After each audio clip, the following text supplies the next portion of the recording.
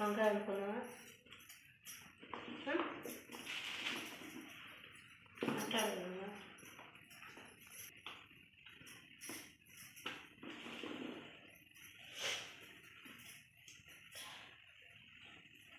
చెప్పు. నీ ఇష్టం. అనుకున్నావా పెరిగేసి ఉండనా పెరుగు. నీ ఇష్టం.